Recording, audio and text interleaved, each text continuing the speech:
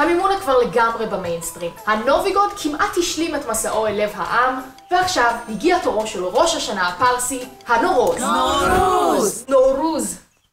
אוקיי.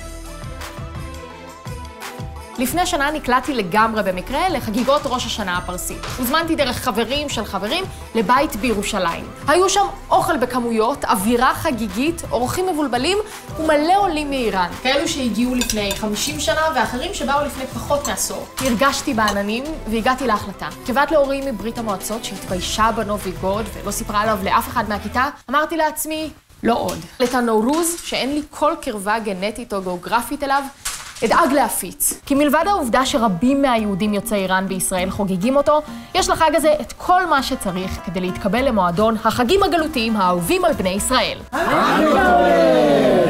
בתור התחלה, המשטר האיראני שונא אותו. אחרי המהפכה באיראן ב-79, המשטר רצה להעלים את החג הזה כי הוא לא מוסלמי.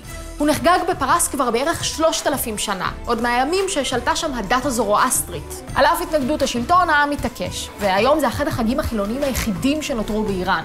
הוא נחגג בלי שום קשר לדת. הוא חל ביום השוויון באביב, היום בו יש אותו מספר של שעות אור וחושך, וסובב כולו סביב משפחתיות וקהילתיות. יש בו מלא מסורות שקל לאמץ וליישם גם בבית. השולחן מורכב ממאכלים וחפצים שלכל אחד מהם משמעות מיוחדת. קצת כמו קערת ליל הסדר. סיר! سبزی ماهی سیب سماق ایران تخم مرغ שבעה מהם מתחילים בעוצים, ונקראים יחד הפצים. החג הזה גם כדאי מאוד לילדים, כי הם מקבלים כסף וממתקים. לפחות כל עוד הם לוקחים סיר ומכים עליו עם כפות.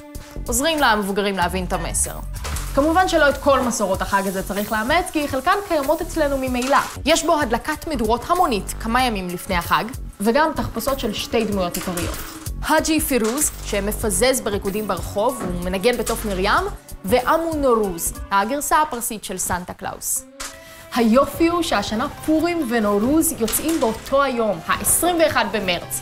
שתי חגיגות במחיר של אחת. אז לכו לחגוג, ואם אתם עדיין לא בשלים השנה, זו הזדמנות נהדרת להיזכר בחברים שלכם שהגיעו מאיראן. באלו שעדיין שם, ובעם האיראני בכלל. ולאחל להם נורוז מובארק! ולא, זה ממש לא יהיה מוזר או ייחשב לשיתוף פעולה עם האויב, כי תראו מי יעשו זאת לפניכם. איראניינה, גרמי, נורוז ותן, פירוז בד. To everyone celebrating Nowruz across the United States and around the world, Nowruz Mubarak.